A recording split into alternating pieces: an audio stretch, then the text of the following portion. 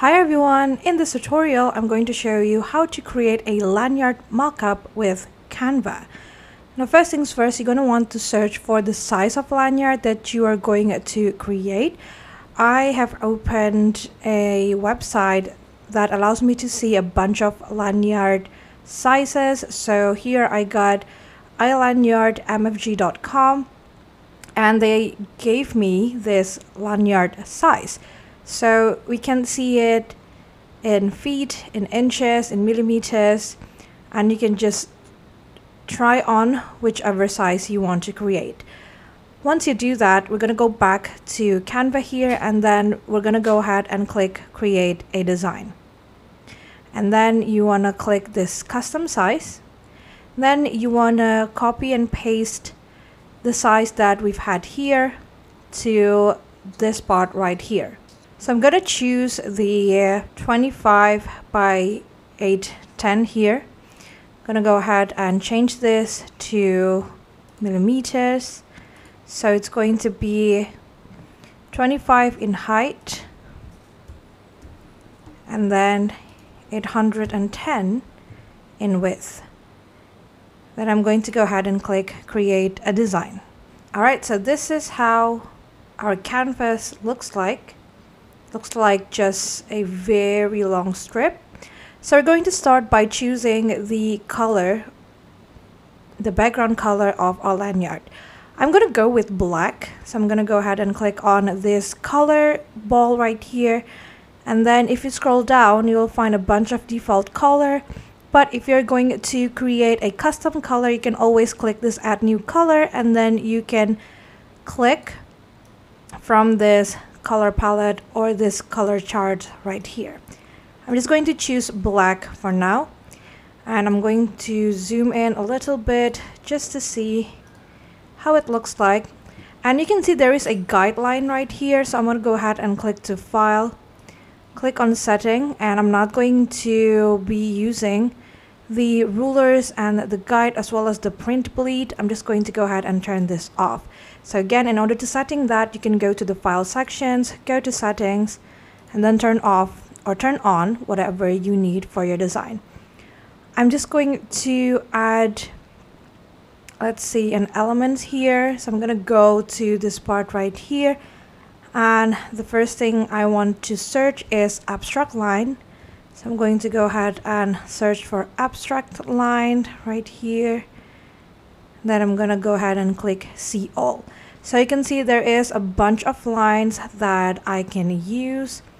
And if you're using Canva Pro account, you'll be able to use the one that has this crown symbol but if you're not using the pro account if you're using the free account you can simply choose the one that has no crown symbol on it Alright, so let's try and see which one of these lines are we going to be using. So this one looks cool.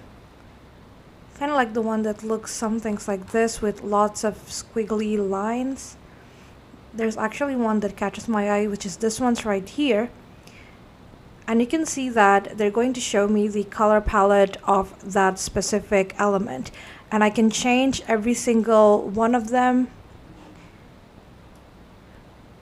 and it looks like this for now and we can make it bigger like so.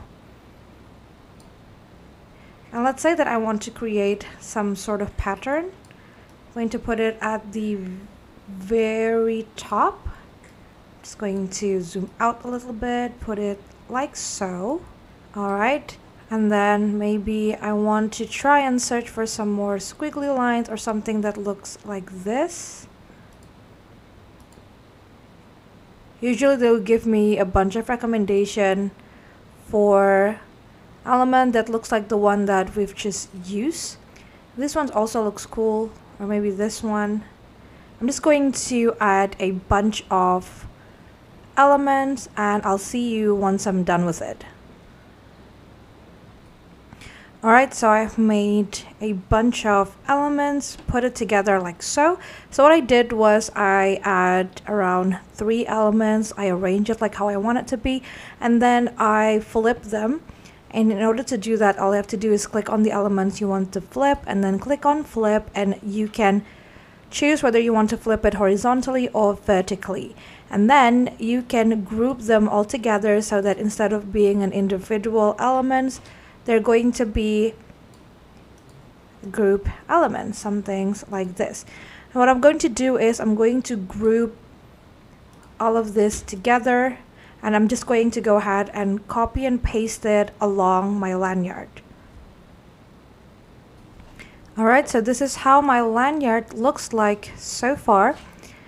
It's just a bunch of squiggly lines and what I'm going to do next is I'm going to add a text. In order to do that, you can go to the text sections right here and I'm just going to scroll down until I found a font combination that I like.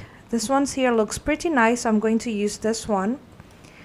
And let's say that it's going to say Moonshine Company. And then I'm just going to go ahead and make this slightly longer and adjust it so it looks some things like this. And then I'm just going to go ahead and copy this so that it's going to be all over the lanyard. Alright, so this is how my lanyard looks like. I think it looks pretty nice. I like how all the color works well together and if you would like to see it closer this is how it looks like. And you can always create a new page if you want to. Let's say you want to create another version you can always click on the first page right here. You zoom it out a little bit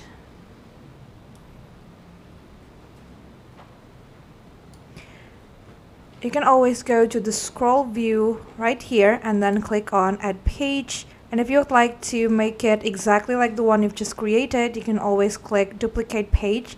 Then maybe you want to change just one or two elements here or maybe you want to change the colors. Feel free to play around and explore the elements that Canva have or let's say that you already have a brand logo that you want to insert, you can always go to the upload sections right here and upload your logo through clicking this upload file. And once you're done with everything, you can go ahead and click on share and you can click on download and then you can choose on the file type that you want.